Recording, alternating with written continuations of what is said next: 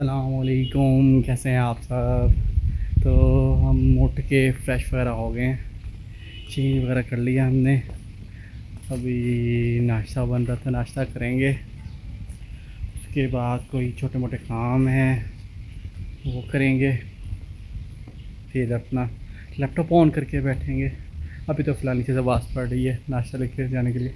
तो मैं ज़रा नाश्ता लेके आता हूँ तब तक। तो भाई ये अभी काम का टाइम हो गया है, काम करें हम, क्योंकि अब दो दो चीज़ों को हैंडल करना पड़ता है। सुबह के टाइम में एक चीज़ को और शाम के टाइम में एक चीज़ को। बीच में थोड़ा बहुत निकालेंगे टाइम इसके लिए भी तो अभी हम करें काम। तो हमने पढ़ ली नमाज़ और की।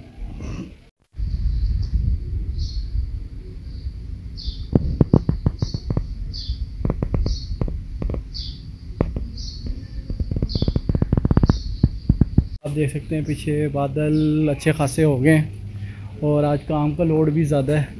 आ, वो देख सकते हो सूरज इस टाइम बादलों में छुपा हुआ। तो आज काम का लोड ज़्यादा है तो बस लगे हुए हैं। अब दो दो टास्क होते हैं दिन के। सुबह के टाइम डिफरेंट टास्क है शाम के टाइम डिफरेंट टास्क है। उससे पहले थोड़ी देर पहले मदर की हेल्प की थी क्योंकि मेड भी नहीं आई हुई थी तो वैक्यूम वगैरह ऊपर का पोर्शन साफ़ वगैरह किया, उनके साथ हेल्प करवाई थी। मैं अब जाके थोड़ा सा दोबारा काम थोड़ा देख लिए। तो शॉवर वगैरह लिया है। अब खाना खाते हैं थोड़ा सा फिर उसके बाद शाम में दोबारा टाइम हो जाएगा काम का।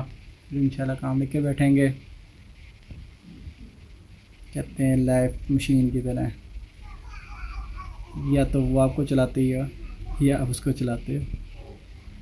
तो खुशी होकर बंदा गुजारता रहे, खुशी खुशी चीज़ों को एक्सेप्ट करे, बंदा खुश रहता है। तो इंशाल्लाह फिर उसके बाद नमाज़ पढ़ते हैं, असर की भी। वेदर आप पीछे देख सकते हैं।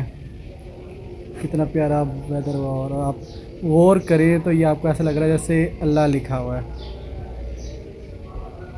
तो मौसम बहुत मज़े का हुआ हुआ है। तो आज के दिन की मेरी कुछ ऐसी ही रूटीन थी।